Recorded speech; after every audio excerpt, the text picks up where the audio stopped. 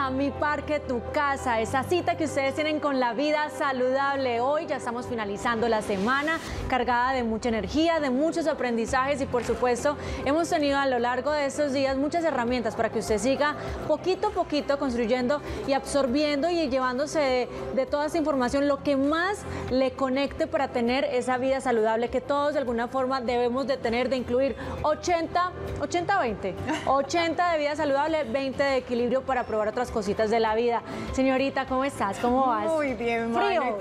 Frío, pero es que las, yo no sé qué pasa en Medellín, pero estas mañanas están heladas, pero heladas. Y yo me levanto muy temprano y pienso que en el transcurso de unas cuatro horitas me voy a calentar, pero no, aquí sigo helada, pero feliz. Ya hoy es viernes, el cuerpo lo sabe, como aquí decimos. Como tú decías, 80-20. A ver, yo diría que los temas que siempre se desarrollan aquí, eh, que desarrollamos aquí en este programa, Manu, nos invitan es al bienestar. Sí. Al bienestar desde cualquier punto de vista. Entonces no es solamente como pensar estilo de vida saludable por verme físicamente bien, delgada, comer vegetales, fruta, no. Desarrollamos muchos temas que la idea es ser felices, llevar a, ese, a esa zona bonita de la vida y, y estar Total, así es. saludables. Ahorita nada más, antes de empezar el programa, entonces un compañero le regala una pastillita de chocolate a ella, porque como tiene tanto frío, entonces como para descalentar a Manu, ¿querés? Y yo, no, no debo, no debo porque para mí esa chocolatina es muy inflamatoria para mi cuerpo, me siento muy bien como estoy, por un ratico de sabor. Entonces, ¿qué es lo que eliges para tu vida? ¿Qué es lo que quieres? ¿Quieres sentirte saludable? ¿Quieres sentirte bien? Entonces, sale adelante con eso y aprende a decir, no, en este momento no quiero. Y ese para mí ha sido el aprendizaje de la semana, aprender a decir, no, saber qué es lo importante, saber qué es lo valioso, qué es prioridad en mi vida. Pero bueno, vamos a hablar de los temas aquí en mi parque, tu casa, pero yo les doy la línea telefónica para que nos puedan llamar, para que conversemos, para que pasemos delicioso en los próximos minutos. 268-6033. Hoy vamos a tener un invitado, el esteólogo y nos va a hablar sobre el significado de la cruz. Pues estamos a pocos días de llegar a la Semana Mayor y lo que queremos es que día a día nos sigamos conectando, que sepamos cómo nos podemos preparar, cómo podemos aprovechar, cómo podemos sentir y volver a recuperar esa tradición de la Semana Santa. Así es, Manu, y también vamos a tener a una mujer que yo admiro y he aprendido de ella montones y nos va a hablar sobre las herramientas para una buena planeación. Me pues encanta. en la vida todo el tiempo estamos planeando, ordenando, dando como cierto, cierta lista de pendientes para sacar todos esos sueños adelante eh, y Juliana nos va a compartir hoy cómo hacerlo de la mejor manera. Y como siempre, cada semana tratamos de tener un invitado acá de Mi Parque Tu Casa, de la programación que tenemos en Telemedellín. Entonces hoy vamos a conocer un poco más de Entendiendo a mi Agüe y también vamos a conocer otro poco más de cómo podemos seguir teniendo esas herramientas porque nos seguimos cuidando. Entonces vamos a hablar de esos mandamientos del COVID, cómo nos podemos seguir protegiendo y cómo podemos cuidar al otro. Todo esto lo vamos a tener en instantes aquí en Mi Parque Tu Casa. Entonces por eso los invito de una vez a que nos conectemos con esa frase del día para que le haga clic en su vida el día de hoy. La frase del día. Lo mejor que nos dejan las personas es lo que aprendemos de nosotros mismos gracias a ellas. Debemos ser un poco más conscientes de lo que aprendemos del otro para conocernos a sí mismo, para saber qué podemos pues mejorar o qué podemos seguir como impulsando en la vida. Con ese mensaje los dejo hoy en mi parque tu casa. Yo diría inclusive que nadie se cruza en tu vida por casualidad. Todos llegan a ser grandes maestros, man. Así y pues es. qué bueno entonces comenzar ya con nuestro primer invitado para hablar de ese significado de la cruz. Como decía Manuela, pues ya se aproxima la Semana Santa y qué bueno entender un poco más sobre ese significado y nos acompaña Gabriel Ciferman, teólogo. Gabriel, bienvenido a mi parque tu a tu casa. Gracias por acompañarnos. Hola, ¿cómo están? Muchas gracias por la invitación a Luisa y a Manuela nuevamente acá en Muy bien. Tu Casa. Gabriel, eh, teólogo, una persona con mucho conocimiento frente al tema y hoy queremos hablar del significado de la cruz. Como lo decía ahorita, estamos a pocos días de llegar a la Semana Mayor, una semana de mucha reflexión, aunque todos los días pueden ser semana de reflexión y entender que este, este tema lo tenemos que abarcar bien, pero entonces si vamos a hablar del punto de partida para saber lo que ocurrió humanamente en ese momento en la cruz, ¿qué podríamos de- saber, decir? Bueno, en primer lugar hay que afirmar que la cruz es un misterio, ¿verdad? Porque se dan dos cosas. Eh, se da el máximo amor de Dios y el máximo rechazo a ese amor. se encuentran esas dos cosas. Entonces, eh, la vida contingente, la vida real de cada día, ¿no es cierto?, nos enfrentamos al sufrimiento, al dolor, y para ello hemos recibido mucha predicación en todos estos siglos, pero yo pienso que hay que cambiar un poco esa perspectiva, puesto que no hay que partir desde la muerte, sino desde la vida de Jesús. Es decir, es una vida entregada hasta la muerte, donada gratuitamente hasta la muerte.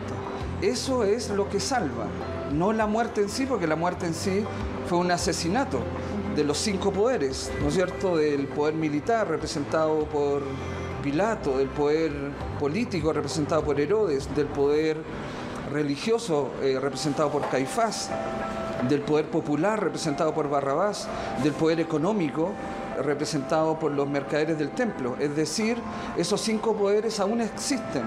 Jesús, eh, la gente se pregunta, eh, ¿sería crucificado? Tal vez no, pero también asesinado, de otra manera, no, no con la cruz. Pero entonces no hay que fijarse en la muerte, eh, sino que en una vida entregada hasta la muerte. Gabriel, para muchos católicos la cruz significa sufrimiento, como un montón de cosas negativas que por ser simplemente católicos como que se carga toda una vida. ¿Qué podrías decirnos al respecto? Bueno, en primer lugar, eh, la cruz no es el amor ni el fruto del amor, sino que es lo que puede el amor, hasta dónde puede llegar el amor, hasta donarse hasta ese punto. Jesús no persiguió la cruz por la cruz, no la quiso ni para sí mismo, no era un sádico, o sea, un masoquista, ni también la quiere para nosotros, no es un sádico. Entonces la prueba de lo que te estoy diciendo es que Jesús combatió las cruces de la historia. Primero, sanó enfermos, combatió, no quiso la cruz de la enfermedad, perdonó pecados, no quiso la cruz de la culpabilidad y expulsó demonios, no quiso la, la cruz del mal, de los males o del maligno. Muy bien, sí, Ferman, si hablamos de, cómo se puede percibir ahora, cómo se puede predicar em, el significado de la cruz y más en este momento, ¿qué se puede decir frente al tema? Porque si entonces estamos hablando, y ahorita Luisa lo decía, entonces Dios quiere entonces que todos sigamos con la cruz encima y sigamos eh, de alguna forma sufriendo em, por nuestros pecados, por lo que intencionamos y no intencionamos, o cómo ahora podemos ver esa predicación de la cruz? Sí, bueno, pienso que primero eh, predicar que a Dios le importa el amor, no el dolor. Ok. Segundo, que, Jesús se ha predicado de que Jesús es, fue obediente al Padre, como si el Padre fuera un sádico que necesita el charco de sangre de su Hijo ante sí para perdonarnos, como, como si Dios fuera el gran ególatra, ¿no es cierto? Entonces, no, no es así. Eh, el Padre, o sea, ¿cuál fue la pasión de Jesús? La pasión de Jesús o la pasión de Cristo, como vemos en Semana Santa, es ese amor apasionado, esa entrega apasionada, no los padecimientos. La gente entiende por pasión de Cristo como los padecimientos de Jesús. La pasión de Cristo fue su papito, su abá, que quería que todos fuéramos hermanos. Y en esa relación con el papito, de Dios como papito, como Javá, eh, significa que ese papito lo apoya en su opción, lo, respeta. Por ejemplo, un padre a lo mejor quiere que su hijo sea ingeniero, pero a lo mejor el hijo quiere ser bailarín de ballet clásico. Y el papá lo tiene eh, que respetar en su opción porque lo ama. Antes del respeto está el amor, la lealtad a su hijo. Lo mismo el papito con Jesús. Si la pasión de Jesús por su por él, por Dios y por nosotros lo lleva a morir, es como si Jesús, como si el Padre le dijera, si tu pasión y amor por el mundo te llevan a morir, entonces muere. Yo no te voy a decir sé más egoísta. ¿Me entiendes? Entonces, en ese sentido, la predicación eh, tiene que cambiar. Jesús quiso dejar claro que seguir amando como Dios nos ama es más importante que cuidar la vida biológica. Eh, Jesús no murió para que Dios nos amara, sino para demostrar cada día de que Dios se entrega con un amor incondicional a nosotros. Eso yo creo que es la predicación central y, y centrada en la tradición de Jesús. Qué bonito todo eso. Recordarles a todos nuestros televidentes que estamos también a través del Facebook Live por si tienen alguna pregunta para nuestro invitado y que también nos pueden llamar a la línea telefónica 268-6033 para que compartan también qué significado tienen ustedes de la cruz. Y yo quiero preguntarle a Gabriel entonces, ¿cuál sería ese sentido eh, para ti de la cruz? Mira, recién cuando venía en camino, eh, yo soy fundador de este movimiento, Fratese, Fraternidad Teológica Católica y Ecuménica. Y una de los miembros de esta fraternidad eh, me dijo que había muerto su hermana, pero resulta que hace tres días murió el hermano.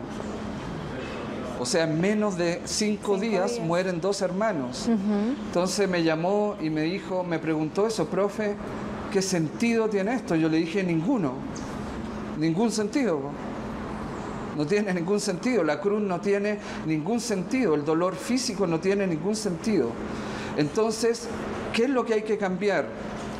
El sentido de la cruz debe centrarse en que Dios ha prometido estar. Y que Dios está, involucra que Dios muere contigo, sufre contigo. Lo que pasa es que manejamos muchos tips. Entonces la gente dice, Dios sabe lo que hace. Imagínate yo a esta señora le hubiera dicho, eh, profe, se acaba de morir mi hermana. En, tres días han muerto dos hermanos. Imagínense yo le dijera a ella lo que dice toda la gente, Dios sabe lo que hace. Me convierte en una fábrica de ateos. Entonces, Dios no sabe lo que hace, Dios hace lo que sabe. Y lo que sabe es estar, estar cuando sufres. Entonces Dios no, eh, eh, a veces no te saca del dolor, sino que no te rescata de eso, tal vez no te salva de la enfermedad, sino que te salva en la enfermedad, en el dolor, en el sufrimiento, porque Dios ha prometido estar. Gabriel, tenemos una llamada en este momento, de verdad que me resonó mucho lo que acabaste de decir y tenemos a Lina Marcela Bermúdez desde Itagüí. ¿Cómo estás, Lina? Eh, muy buenos días, muy bien, gracias. ¿Cómo te encuentras? Muy bien, gracias a Dios. Muy bien, ¿tienes alguna pregunta?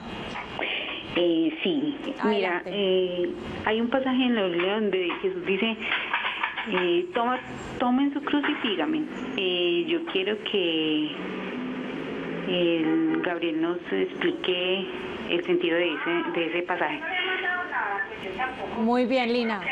Entonces escúchanos por el televisor para que puedas eh, eh, ver qué respuesta nos va a dar eh, Gabriel Zifferman. Bueno, ese versículo dice el que quiera seguirme, tome su cruz o cargue con su cruz eh, niéguese a sí mismo y sígame. Eso dice en castellano, pero nosotros los teólogos solemos estudiar los idiomas originales. En arameo no dice eso. Jesús hablaba arameo. Arameo no dice niégase a sí mismo, sino que dice oculta tu sí mismo. Entonces eh, el arameo es toda una acción, es decir, eh, es como si Jesús preguntara quién de acá quiere seguirme, listo. Que se ponga detrás de mí, detrás de mi espalda, oculte tu, su sí mismo y vamos avanzando, sígame. Ese ocultar, ese, ese sí mismo es la vida secreta. Todos tenemos vida pública, privada y secreta. Entonces nadie puede decir que no. Eh, entonces, a veces eso se convierte en nuestra cruz. Es algo a lo cual sobrevivimos. Entonces, eh, ese ocultar de sí mismo es que Dios nos protege. Es decir, eh, ese pasaje quiere decir que Dios quiere que vayamos tras Él, pero también no destapando nuestra vida, sino protegiéndola. Tengo una pregunta y es, pues nos has dado como mucha información y yo nada más ahorita estaba pensando y decía, ve, yo tengo una cruz y me gusta tenerla y es como para mí un símbolo de protección, para mí es un símbolo de recordarme mi conexión, ¿cierto? Y acá la tengo, pero entonces realmente con todo lo que hemos, eh, nos has dicho el día de hoy, ¿cuál es el verdadero significado de que muchas personas pues o la portemos, la sintamos o entendamos todo lo que acabaste de explicar? Entonces, ¿qué podríamos decir de resumen del significado como tal de la cruz? Bueno, en primer lugar pienso que la cruz que uno lleva, eh, ¿no es cierto?, materialmente debe ir con el crucificado, no sola. Porque la cruz en sí misma es un elemento de tortura. O sea, Jesús no lo crucificaron por bonito, lo crucificaron porque molestaba diciendo lo que decía ahí. O sea, ya lo hemos dicho, los cinco poderes lo quieren eliminar, lo quieren sacar. Entonces, eh, y lo que dije al principio, la cruz es el encuentro de eso mismo. La cruz me debe recordar hasta dónde llega Dios con su amor, pero también advertir hasta dónde puedo llegar yo al rechazar ese amor. Entonces creo que tenemos que, como decía la frase que tú dijiste, tenemos que tomar conciencia, elevar la conciencia y mirar las cosas desde más altura, desde otro plano, no predicar más de lo mismo, porque cuando hay dolor, cuando hay sufrimiento y cuando ante eso no hay sentido, terminamos con nuestra predicación siendo una fábrica de ateos. Entonces hay que cambiar el sentido y darle eh, lo central a la donación de Jesús.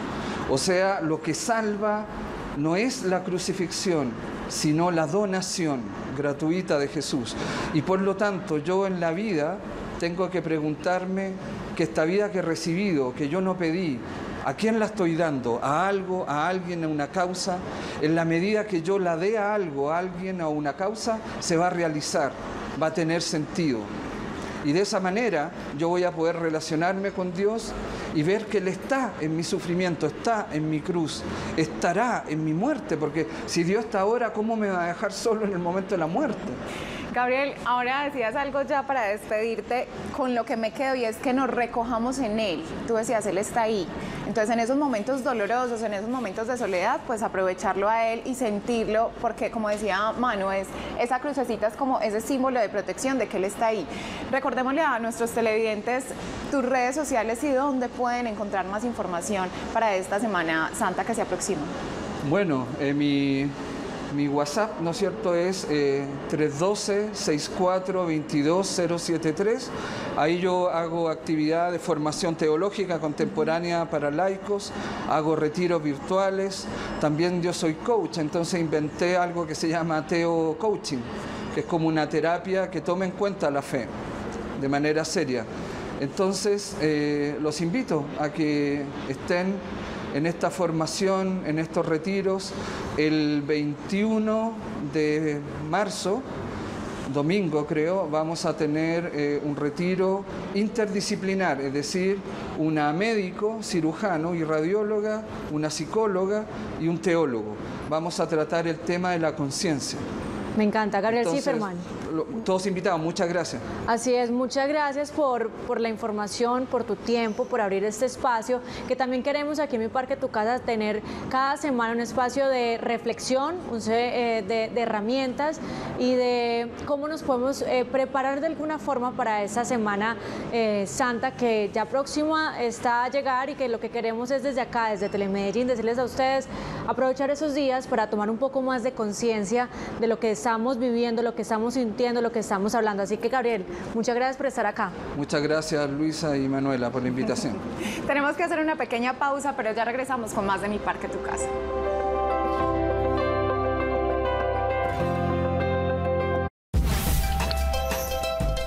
Estás viendo Mi Parque Tu Casa.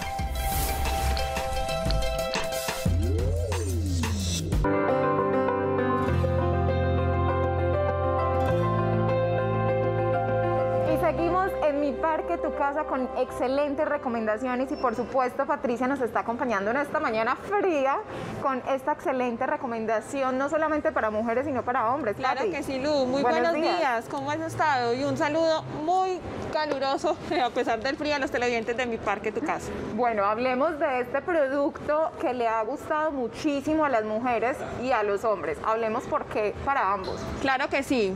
Estamos en una fecha muy próxima y muy especial. Así que ojo a este producto, este producto es muy bueno para que le obsequiemos a esa hermana, a esa mamá, a esa novia y para que ustedes sin salir de casa pueda consumir este producto que es muy bueno. Pues sí, señorita, tenemos la crema despigmentadora.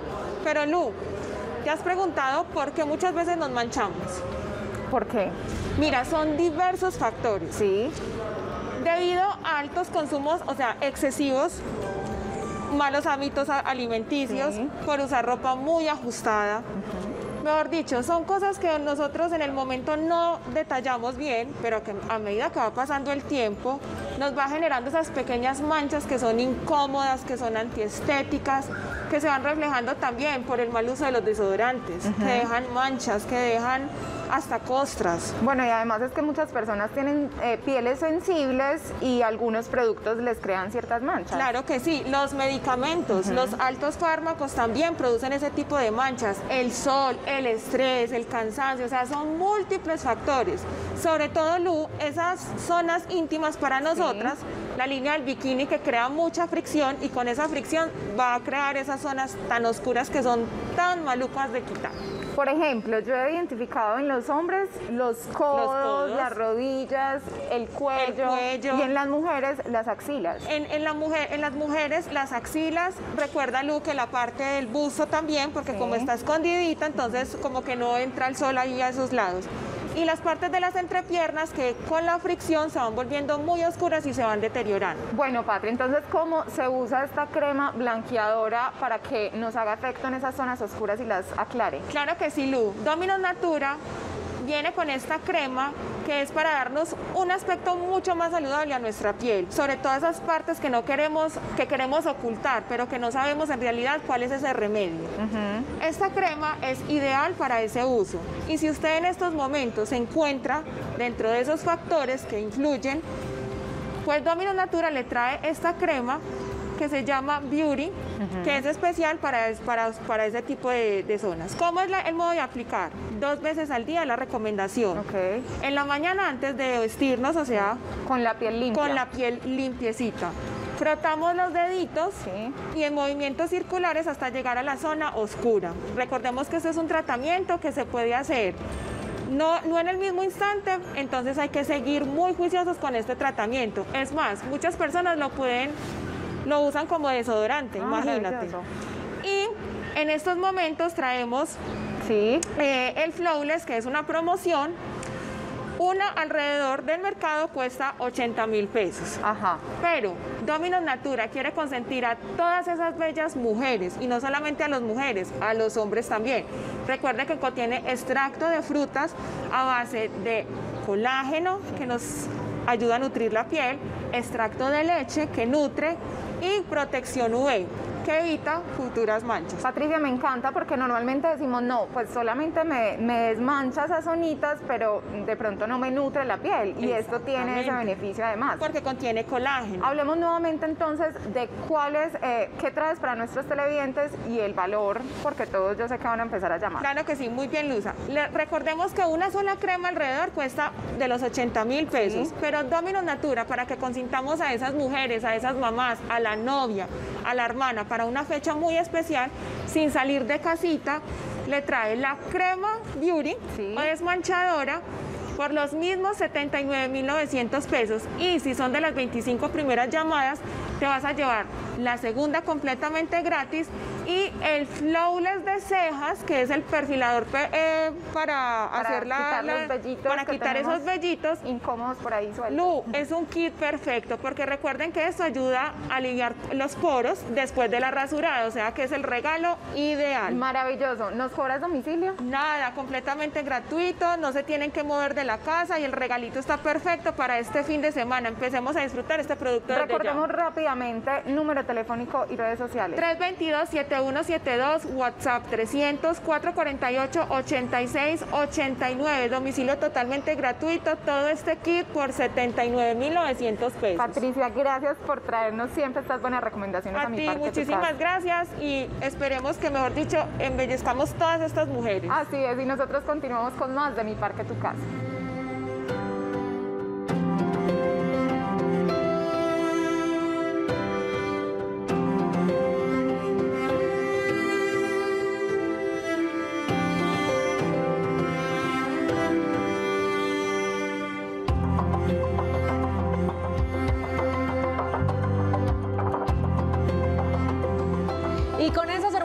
Imágenes, seguimos avanzando aquí en mi parque Tu Casa. Pues ahorita estábamos hablando del tema del significado de la, de la cruz y en este momento queremos que usted se siga cuidando tenemos que de alguna forma seguir con la guardia arriba. No podemos ni desproteger al otro porque el otro también hace parte de mi familia, el otro hace parte de ese mundo y no podemos ser egoístas y el COVID no se ha acabado y la pandemia continúa, vamos bien, pero tenemos que seguir avanzando con el tema. Entonces, señorita, ¿sabía que por ahí encontramos el tema es que los mandamientos del COVID? Sí, es que digamos que por estos días y más que se aproxima la Semana Santa, mano, tenemos que tener las pilas puestas y como decimos, si yo me cuido, te cuide. Entonces acá les tenemos una nota súper chévere sobre los 10 mandamientos del COVID.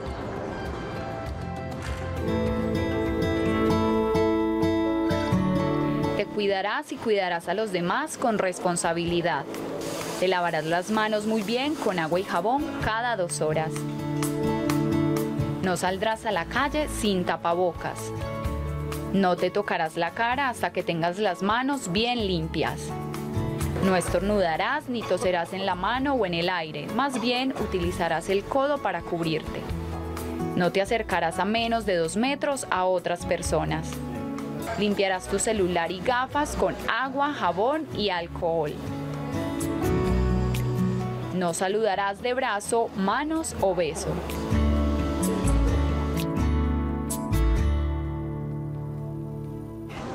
yo estaba aquí muy conectada con la Semana Santa. Dije 10 mandamientos, pero no, no son 10 mandamientos. No, eran algunos. En realidad lo que queremos de alguna forma de seguirse cuidando. A vos no te pasa que ya cuando eh, salís a cualquier parte... Se me olvida.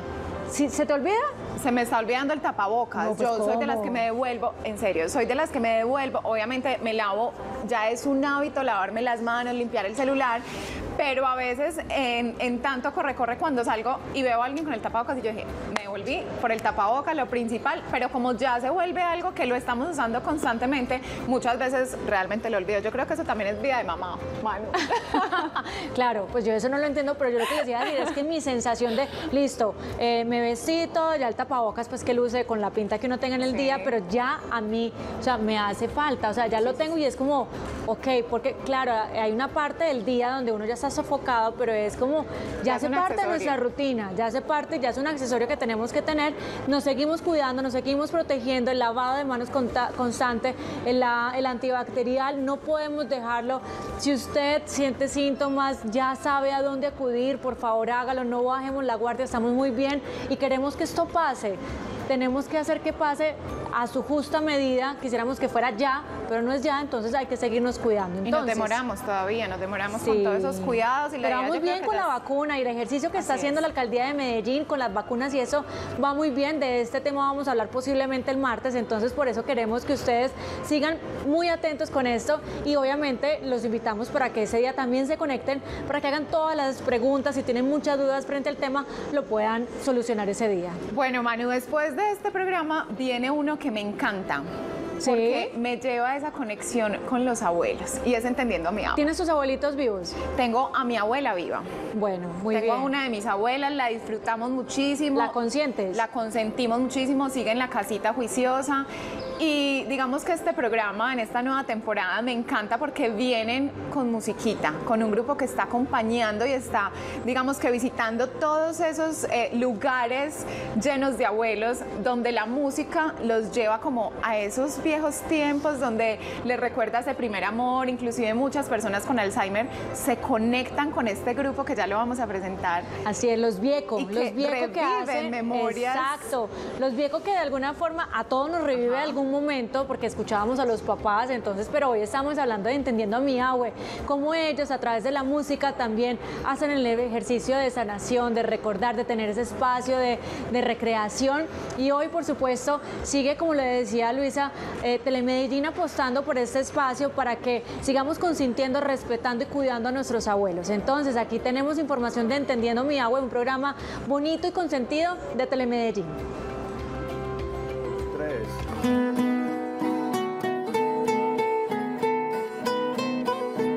El grupo Los Viejos llega al canal para acompañar la nueva temporada del programa Entendiendo a mi abue.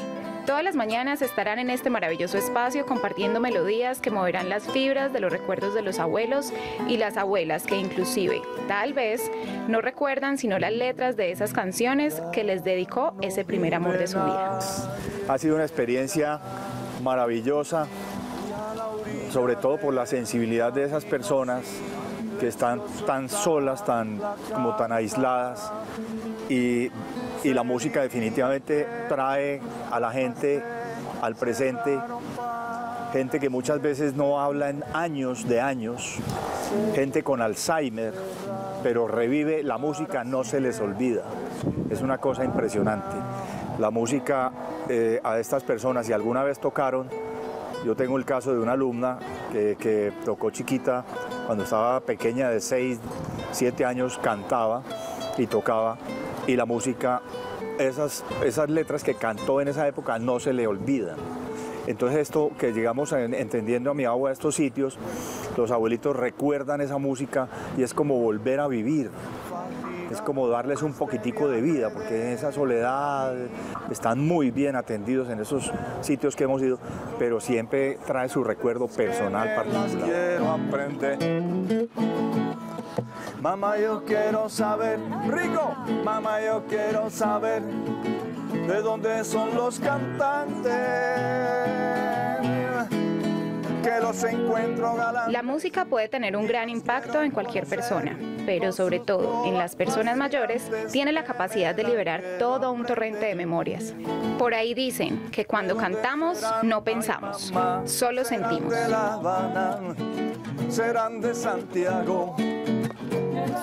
Y una experiencia maravillosa que yo quiero compartirles y, y yo quiero que ustedes nos acompañen para que puedan ver todas esas cosas, toda esa información que nosotros pasamos por alto y que a través de nuestra directora Juliana Ospina está transmitiéndole a todo el público de Medellín, a toda la gente, para que no nos olvidemos de los abuelitos, de las personas, que allá vamos a llegar todos, allá ya estamos llegando nosotros.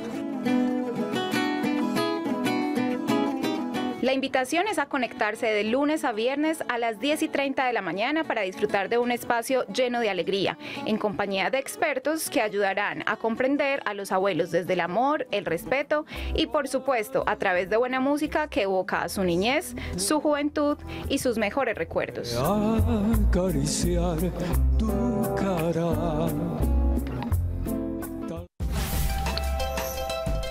Estás viendo Mi Parque, Tu Casa.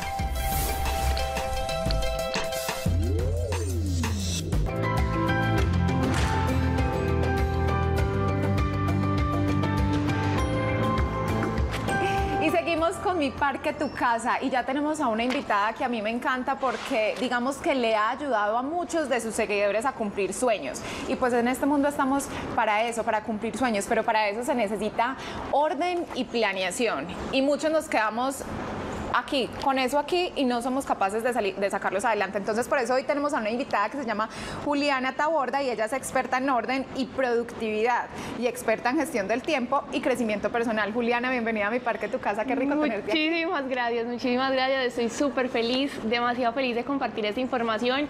Antes de entrar al programa, eh, estaba pensando que yo hace tres años venía al parque a hacer eventos decorativos y a decorarlos. Y yo creo que si no fuera por un plan de acción y un sueño y materializarlo y estructurarlo, no estaría hoy acá contando todo este emprendimiento. Me gusta mucho eso, pero me gusta más que nos expliques el tema de la planeación. ¿Por qué es importante hacer esto? Bueno, la planeación es el primer paso para tú poder materializar un sueño, porque muchas veces, como Lulo decía, dejamos todo en la cabeza y lo dejamos solamente como un sueño o una idea y no la pasamos a la acción. Y la planeación es la capacidad que nosotros tenemos de poder elegir qué queremos y ser coherentes con eso que queremos para accionarlo en nuestra realidad. Entonces es muy importante que todos esos sueños que nosotros tengamos empezamos a decirles cuál es el plan de acción que yo tengo para eso, porque es muy bueno decir quiero viajar, pero es mucho mejor decir voy a viajar el 30 de diciembre a Tulum, me voy a quedar en este lugar y voy a tener que ahorrar tanto presupuesto para poder hacerlo realidad. Bueno, Juliana, es mucha información, el tiempo es muy corto, entonces empecemos como herramientas claves para empezar con esa planeación. Listo. Yo construí un método que se llama el método metamorfosis como para explicar mucho más fácil a las personas y que consiste plasmar, planear, accionar y medir.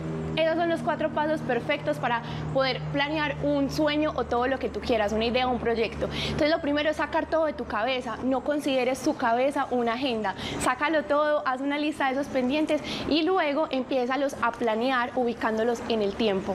Ahí está súper bien, o sea, podemos hacer una lista yo que le digo que entonces yo estoy haciendo la tarea porque yo soy la señora y ama de las listas. Este que dice acá, listas listudas, ¿cierto? Eh, yo soy de mucho checklist, entonces eh, soy de escribir, chulear y hacerlo. O sea, soy muy de esto, entonces voy haciendo bien la tarea. con ese primer bien, punto. Segundo.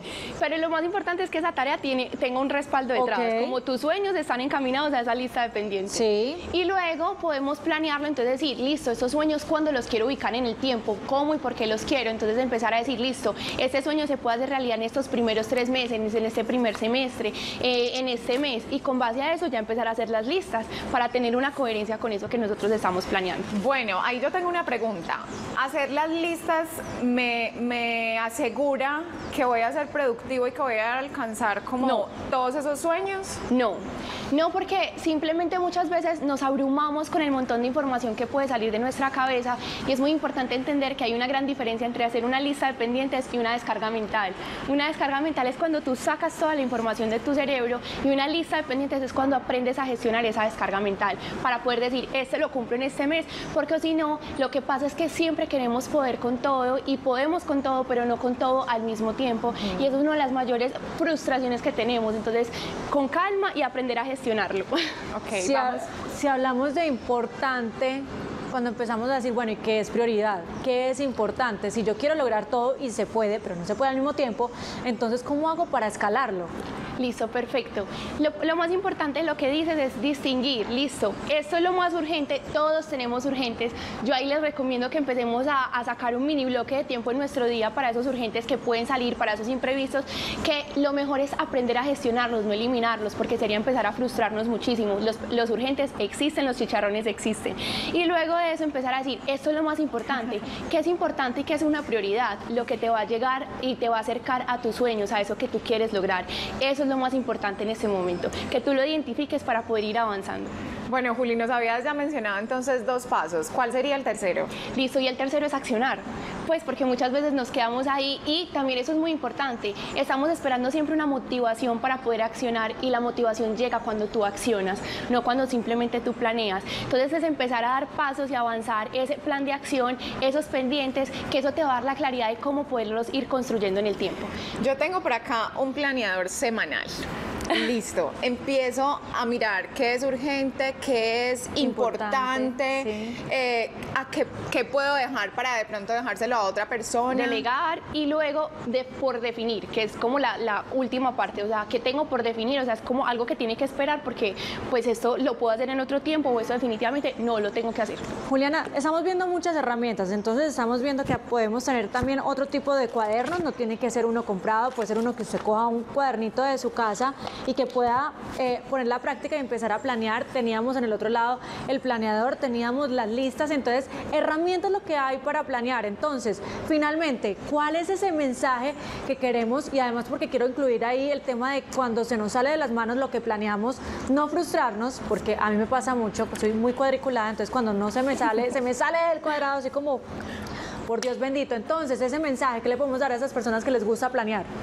Acuérdense que la planeación es una guía que tú tienes para rediseñar, no una camisa de fuerza. Entonces, cada que tus planes varíen, tú lo único que tienes que hacer es volver a tu centro, recordar tu para qué y volver a agendar, porque tu sueño sigue ahí, lo único que tiene que cambiar es el plan de acción para poder lograrlo. Siempre se puede rediseñar, siempre, en todas las ocasiones. Tenemos todas las metodologías y lo más importante es que encuentres la tuya y esa la vuelvas tu mejor versión, porque las puedes hacer tú en tu casa, todo esto de ser para hacer comenzó literalmente con un cuaderno solito entonces ustedes también lo pueden hacer, ustedes pueden crear sus propias herramientas. Lo más importante es que le apunten a sus sueños para poder llegar a ellos. Me encanta y yo tengo una frase por acá que anoté de la cuenta de Juliana y es que los sueños necesitan tres cosas para hacerse en realidad. Determinación, plan de acción y constancia. Exacto. Juliana, gracias por acompañarnos aquí Con en todo el amor en redes mundo, sociales. Eh, me pueden encontrar como arroba ser para hacer, ahí está toda la información, trato de darles todo lo mejor de mí. Soy una fiel creyente de que los sueños se hacen realidad y quiero ver a todas las personas pudiéndolos hacer. Juliana, muchas gracias. ¿Qué vas a hacer a las 3 de la tarde? Eh, a las 3 de la tarde ¿Vas voy- a ver? A ver. Voy a ver Telemedellín. Telemedellín. Porque les tenemos una invitación hoy a las 3 de la tarde. Tu cuadra me cuadra. ¿Desde dónde van a estar estos chicos? ¿Qué nos van a mostrar? ¿A qué huele el barrio? Esta es la invitación que tenemos por parte de ellos.